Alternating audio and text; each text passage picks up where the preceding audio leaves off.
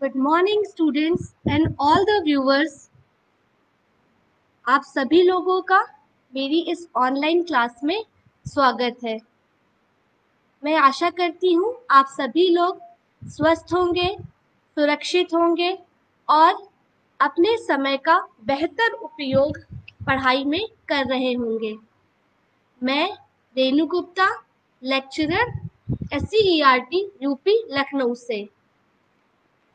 आज मैं आप सभी लोगों को शैक्षिक प्रबंधन एवं प्रशासन, जो कि डीएलएड फोर्थ सेमेस्टर के सेकंड सैद्धांतिक प्रश्न पत्र है, उसका एक टॉपिक है, राष्ट्रीय स्तर पर कार्य करने वाली प्रमुख संस्थाएँ, उसके बारे में आज हम बात करेंगे। आज मैं इस क्लास में आप सभी लोगों को राष्ट्रीय स्तर पर कार्य करने वाली दो प्रमुख संस्थाएँ, जिसमें पहला है एनसीईआरटी और दूसरा न्यूपा के बारे में विस्तार पूर्वक बात करेंगे। ये दोनों ही संस्थाएँ किस क्षेत्र में काम करती हैं, क्या काम करती हैं, इनकी, इनका उद्देश्य क्या है, इन सभी बिंदुओं पर, इन सभी पहलुओं पर आज हम विचार करेंगे। इससे पहले की क्लास में मैंने आप सभी लोगों को वित्तीय प्रबंधन के बारे में बताया था कि वित्तीय प्रबंधन किसी भी संस्था के लिए, किसी भी विद्यालय के लिए, किसी भी फर्म के लिए क्यों आवश्यक होता है। वित्तीय प्रबंधन जो है, वित्तीय निर्णय लेने वाली वह प्रक्रिया है, वह क्रिया है जिसके द्वारा हम अपने व्यक्तिगत उद्देश्यों और संस्थागत उद्देश्यों में एक समन्वय, एक कोऑर्डिनेशन स्थापित करते हैं। साथ ही वित्तीय प्रबंधन जो है, व्यवसायिक प्रबंधन का वह क्षेत्र है, जिसका संबंध पूंजी का, यानी कि फंड का बड़े ही विवेकपूर्ण ढंग से प्रयोग करना और साथ ही पूंजी का जो संसाधन है, उसका बड़ी ही सतर्कता के साथ चयन करना, जिससे कि व्यय करने वाली जो संस्था है, अपने निर्धारित लक्ष्यों तक, अपने निर्धारित उद्देश्यों को पूरा कर सके। आय व्यय का जो ये विवरण होता है, वो प्रशासनिक दृष्टि से एक वर्ष के लिए होता है, जिसे हम वित्तीय वर्ष के नाम से जानते हैं और यह वित्तीय वर्ष एक अप्रैल से शुरू होकर अगले 31 मार्च तक के लिए होता है। आय व्यय के इस विवरण पत्रों को हम बजट के नाम से संबोधित करते हैं। इसके साथ ही साथ मैंने आप लोग को वित्तीय प्रबंधन के अंतर्गत स्कूल ग्रांट और टीएलएम ग्रांट के बारे में विस्तार पूर्वक चर्चा की थी। आज उसी के क्रम में आज मैं आप सभी लोगों को राष्ट्रीय स्तर पर शिक्षा के क्षेत्र में कार्य करने वाली संस्थाएँ, जिसमें पहली संस्था है एन जैसे कि हम इंग्लिश में national council of educational research training के नाम से जानते हैं, राष्ट्रीय शैक्षिक अनुसंधान एवं प्रशिक्षण परिषद के नाम से जानते हैं, के बारे में हम पढ़ेंगे। आप काफ़ी लोग मेरे साथ जुड़ गए हैं और कमेंट बॉक्स में सभी का नाम मेधा सिंह, सभी के नाम पवन कुमार सबके नाम आयुषी अवस्थी, इन सभी लोगों के नाम शो होने स्टार्ट हो गया है। आप सभी लोगों का मेरी क्लास में स्वागत है। आज मैं आप लोग को सबसे पहले एन e के बारे में बताऊँगी।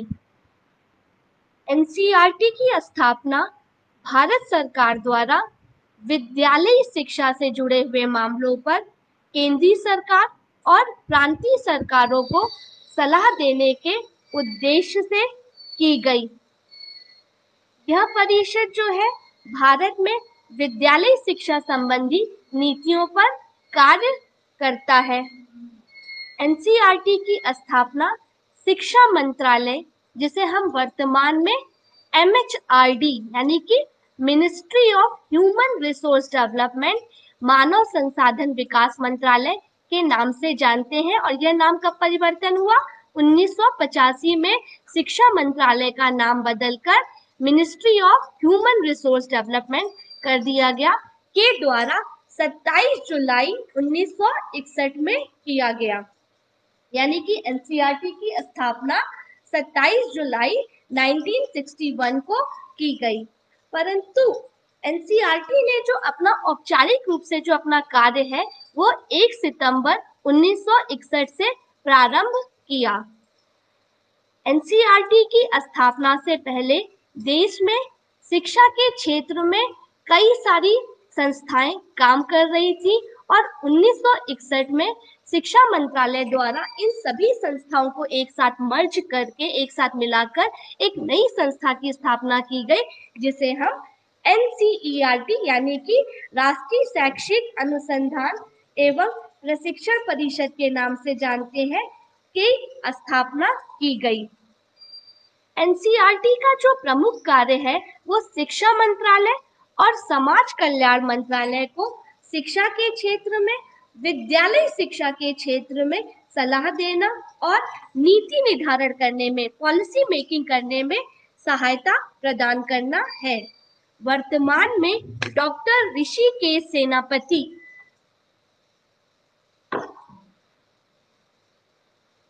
वर्तमान में डॉक्टर ऋषि के सेनापति एनसीईआरटी के डायरेक्टर हैं, जो कि इस पद पर, जो कि इस पद पर 2015 से कार्यरत हैं। डॉक्टर ऋषिकेश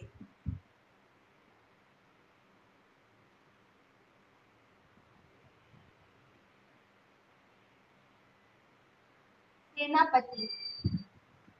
आप सभी लोग ब्लैक बोर्ड पे देख सकते हैं, मैंने उनका नाम लिख दिया है। एनसीईआरटी के जो वर्तमान में डायरेक्टर है, वो डॉक्टर ऋषि के सेनापति हैं और यह इस पद पर 2015 से कार्यरत है। एनसीईआरटी में कई अन्य शैक्षणिक संस्थाएँ भी हैं, जो एनसीईआरटी का कार्यों में सहयोग प्रदान करती है, जिसमें पहला है राष्ट्रीय शिक्षा संस्थान नई दिल्ली केंद्रीय शिक्षा प्रौद्योगिकी संस्थान नई दिल्ली, क्षेत्रीय शिक्षा संस्थान अजमेर, क्षेत्रीय शिक्षा संस्थान भोपाल, क्षेत्रीय शिक्षा संस्थान भुवनेश्वर, क्षेत्रीय शिक्षा संस्थान मैसूर और उत्तर पूर्वी क्षेत्रीय शिक्षा संस्थान शिलोंग प्रमुख है। यानी कि मैंने आप लोग को एनसीईआरटी की सात सहयोगी संस्थाओं के बारे में बताया।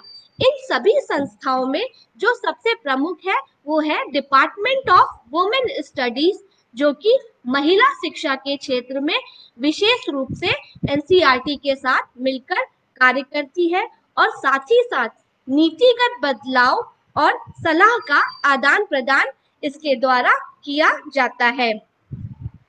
इसके अलावा बहुत सारी गैर सरकारी संगठन, बहुत सारे एनजीओ भी एनसीईआरटी के साथ मिलकर शिक्षा के क्षेत्र में गुणवत्तापूर्ण सुधार लाने के लिए कार्य कर रहे हैं। एनसीईआरटी के द्वारा प्राइमरी शिक्षा यानी कि प्राथमिक और अनौपचारिक शिक्षा के क्षेत्र में इनफॉर्मल एजुकेशन के क्षेत्र में यूनिसेफ के साथ मिलकर, जो कि एक अंतर्राष्ट्रीय अंतर्राष्ट्रीय एनजीओ है, एक गैर सरकारी संगठन है, उसके साथ मिलकर बहुत सारी परियोजनाओं का, बहुत सारे प्रोजेक्ट्स का संचालन किया जा रहा है।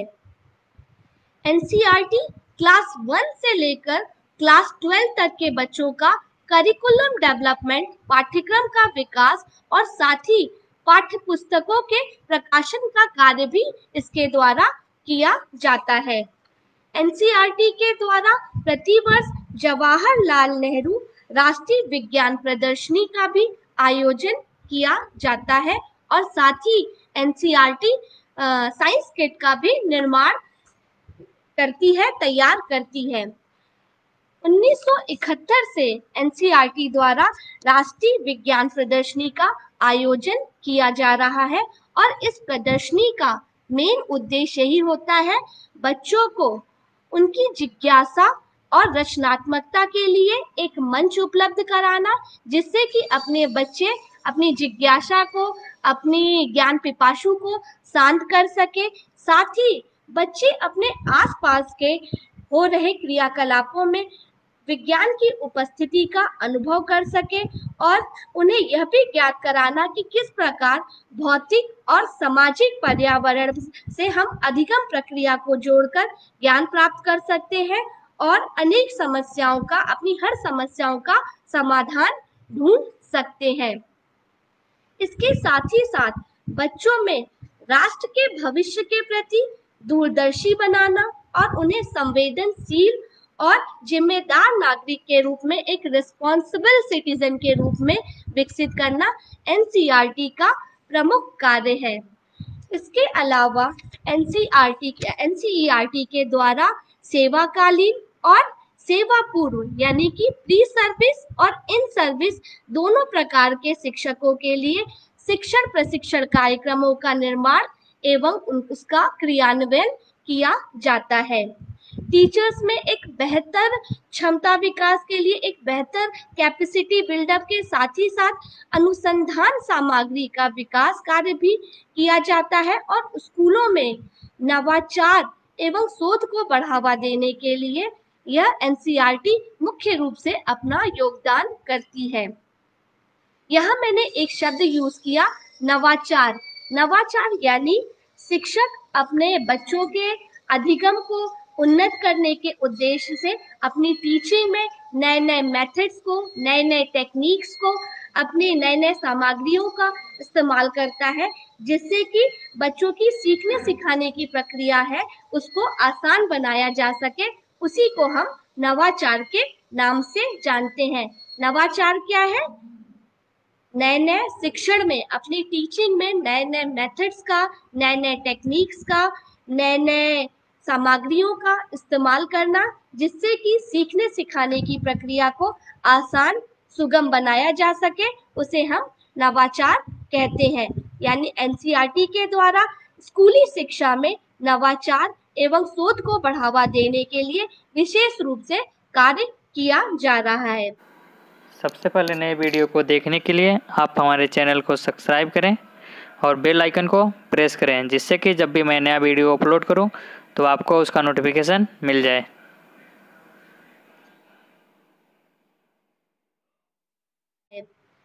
विभिन्न प्रकार के ट्रेनिंग प्रोग्राम्स का आयोजन भी एनसीईआरटी के द्वारा किया जाता है। साथ ही एनसीएफ 2005 यानी कि नेशनल करिकुलम फ्रेमवर्क 2005 और एनसीएफ फॉर टीचर्स एजुकेशन 2009 के आलोक में ऐसी सामग्रियों को विकसित करना, जिससे कि अध्यापन को, अधिगम को, अध्यापन पर अध्यापक के प्रशिक्षण को में नई नई पद्धतियों को उजागर किया जा सके, इस क्षेत्र में भी एनसीईआरटी प्रमुख रूप से अपना योगदान दे रही है। इन सभी कार्यों के अतिरिक्त एनसीईआरटी के द्वारा कुछ और भी कार्य किए जाते हैं जो इस प्रकार है।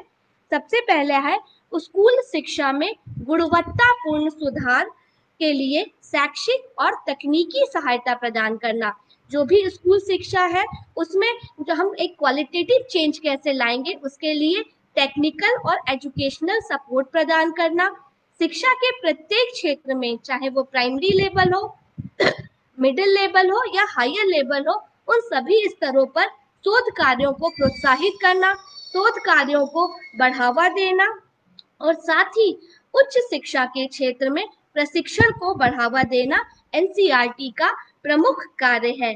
साथ ही स्कूलों की शिक्षण पद्धति में लाए गए बदलाव को, लाए गए विकास को लागू करना और राज्यों को और जो भी गैर सरकारी और जो भी अन्य शैक्षिक संस्थाएँ हैं, उन्हें अपनी शिक्षा में कैसे बेहतर किया जाए, अपनी टीचिंग को कैसे बेहतर किया जाए, इस संबंध, इस संदर्भ में समय समय पर सलाह देना एनसीईआरटी का प्रमुख कार्य है।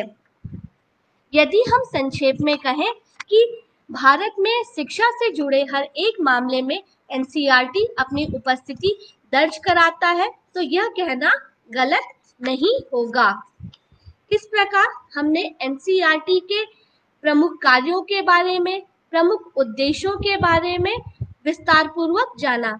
आगे हम जानेंगे एनसीईआरटी के प्रमुख, नहीं एनसीईआरटी के बारे में जाना। आगे हम न्यूपा के बारे में, यानी कि national university of educational planning and administration जिसे हम हिंदी में राष्ट्रीय शैक्षिक योजना एवं प्रशासन विश्वविद्यालय के नाम से जानते हैं। के बारे में हम विस्तार पूर्वक पढ़ेंगे।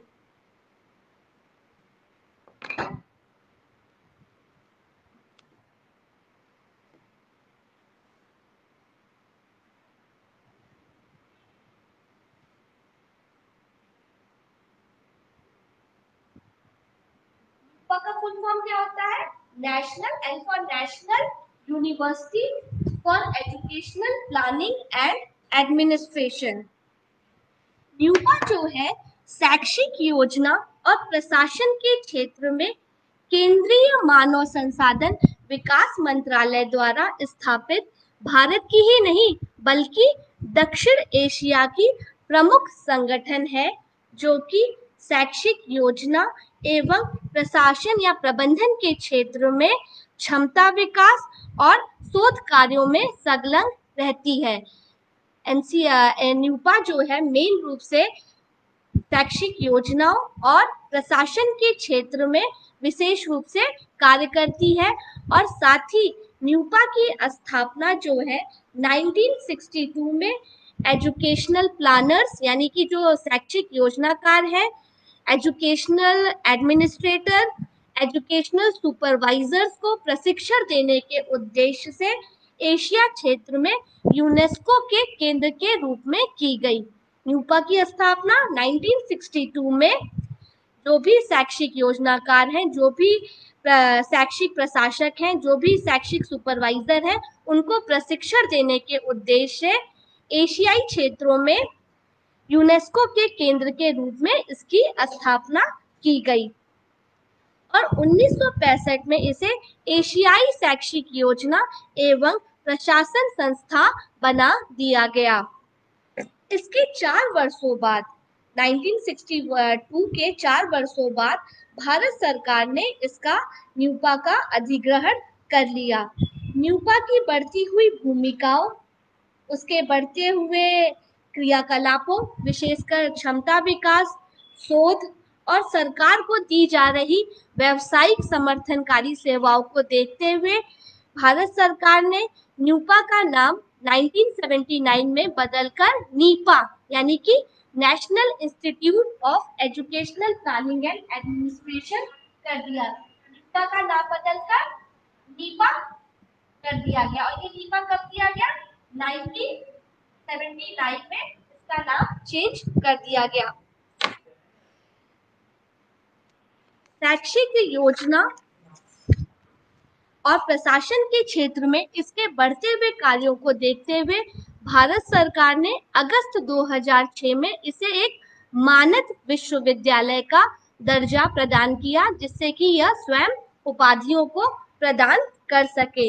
यह भारत सरकार द्वारा पूर्णता वित्त पोषित संस्थान है। यानी कि भारत सरकार जो भी इसका खर्च होता है, वो भारत सरकार द्वारा वहन किया जाता है।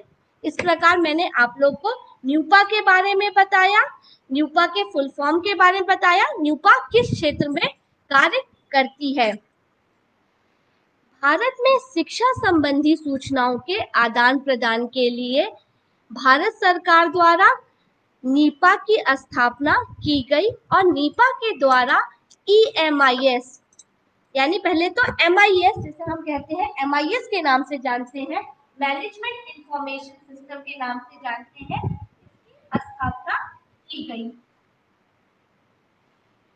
मैनेजमेंट इंफॉर्मेशन सिस्टम और इस मैनेजमेंट इंफॉर्मेशन सिस्टम के अंतर्गत दो सूचना तंत्र काम करते हैं, जिसे हम ई एम आई एस यानी कि एजुकेशनल मैनेजमेंट इंफॉर्मेशन सिस्टम और P M I S project management information system के नाम से जानते हैं की स्थापना की गई।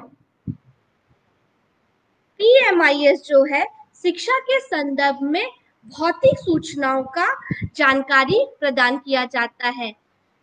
पीएमआईएस द्वारा भौतिक सूचनाएँ का जो भी है भौतिक शिक्षा संबंधी भौतिक सूचनाओं की जानकारी दी जाती है, जबकि ई द्वारा शिक्षा के संदर्भ में गुणवत्तापूर्ण जानकारी और आंकड़ों संबंधी जानकारी ई के द्वारा प्रदान की जाती है। वर्तमान में एसएसए के द्वारा, यानी कि समग्र शिक्षा अभियान द्वारा एमआईएस का संचालन किया जा रहा है। ध्यान रहे एमआईएस की स्थापना जो है न्यूपा द्वारा की गई, किंतु इस वर्तमान में इसका जो संचालन है, वो एसएससी के द्वारा, समग्र शिक्षा अभियान के द्वारा किया जा रहा है। आगे हम बात करेंगे ईएमआईएस के प्रमुख कार्यों के बारे में कि ईएमआईएस का प्रमुख कार्य क्या है।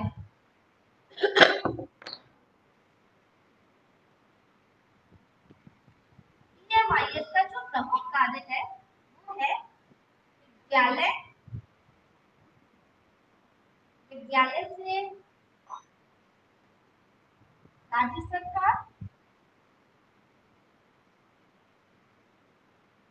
और राज्य सरकार से केंद्र सरकार तक सूचनाओं का, सूचनाओं तक, सूचनाओं को पहुंचाना। ईएमआईएस जो है जो तंत्र है ईएमएस ईएमएस ईएमआईएस द्वारा विद्यालय स्तर पर जो सबसे निम्न स्तर है सूचनाओं को, उसको सूचना का जो सबसे निम्न स्तर है, सूचनाओं का, शिक्षा संबंधी सूचनाओं को विद्यालय से एकत्रित कर कर जिला स्तर तक पहुंचाना, कोई भी नोडल अधिकारी सूचनाओं को विद्यालय से प्राप्त कर कर जिला तक पहुंचाएगा। ज़िले से फिर राज्य सरकार तक और राज्य सरकार से फिर केंद्र सरकार तक उस सूचनाओं को पहुँचाया जाता है और इन प्राप्त सूचनाओं के आधार पर नवीन योजनाएँ बनाई जाती हैं और फिर या फिर जो पुरानी योजनाएँ चल रही है, उनका परीक्षण, उनकी टेस्टिंग की जाती है कि जो योजना चलाई गई, उससे हमारी क्या उपलब्धियाँ हैं, क्या संप्राप्तियाँ हैं।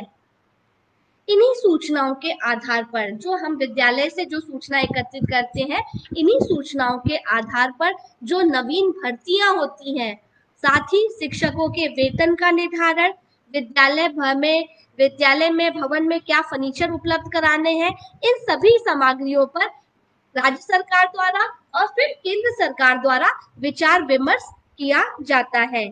इसके अलावा ईएमआईएस का जो और भी प्रमुख उद्देश्य वो है, विद्यालय संबंधी सूचनाओं को एकत्रित करना, विद्यालय संबंधी सूचनाओं और डेटा को एकत्रित करना, डेटा के आधार पर योजनाओं का परीक्षण करना विद्यालय में जो बच्चे का नामांकन हुआ है, जो इनरोलमेंट हुआ है, उसको सुनिश्चित करना और साथ ही विद्यालय में गुणवत्तापूर्ण संबंधी सूचनाओं को एकत्रित करना ईएमआईएस का प्रमुख उद्देश्य है।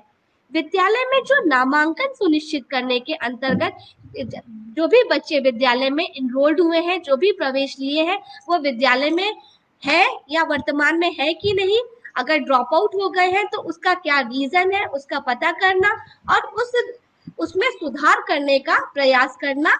ईएमआईएस जो है, इस सूचना को एकत्र करके राज्य सरकार तक पहुंचाती है और राज्य सरकार से ये केंद्र सरकार तक पहुंचाकर इस पर कार्य किया जाता है। एक मैंने इसमें पॉइंट बताया था कि विद्यालय की गुणवत्तापूर्ण संबंधी सूचनाएँ। वर्तमान में विद्यालय में भवन है, शिक्षक है छात्र हैं, सभी कुछ है तो भी अभिभावक अपने बच्चों की शिक्षा से संतुष्ट नहीं है। तो ऐसा क्या कारण है? इस कारणों को पता लगाना भी ईएमआईएस का प्रमुख उद्देश्य है और इन कारणों को पता लगाकर राज्य सरकार और फिर केंद्र सरकार तक पहुंचाना और इस संदर्भ में केंद्र सरकार द्वारा विभिन्न प्रकार की योजनाओं को चलाकर इस क्षेत्र में कार्य करना कि किस तरह हम बच्चों के अधिगम को लर्निंग को बेहतर कर सकते हैं। इस प्रकार हमने जाना कि ईएमआईएस जो है, शिक्षा की सूचनाओं को, वह प्रारंभिक स्तर है, जिसके द्वारा समस्त सूचनाएँ राज्य, विद्यालय से लेकर राज्य सरकार और राज्य सरकार से लेकर केंद्र सरकार तक पहुंचाई जाती हैं। न्यूपा का ये प्रमुख कार्य मैंने आप सभी लोगों को बताया कि ये न्यूपा शिक्षा के क्षेत्र में ये सभी कार्यों का संचालन किया जाता है। अब हम आगे बात करेंगे आज के असाइनमेंट पर कि आज का असाइनमेंट आप लोग को क्या करना है। आज के असाइनमेंट में आप सभी लोग एनसीईआरटी यानी कि राज्य शैक्षिक राष्ट्रीय शैक्षिक अनुसंधान एवं प्रशिक्षण परिषद और न्यूपा राष्ट्रीय शैक्षिक योजना एवं प्रशासन विश्वविद्यालय के बारे में, उसके कार्यों के बारे में ईएमआईएस के बारे में एक लेख तैयार करके अपने डाइट्स पर अपनी शिक्षण संस्थाओं में सबमिट कर दीजिएगा। इसी के साथ मैं आज इस क्लास को एंड करती हूँ। Thank you so much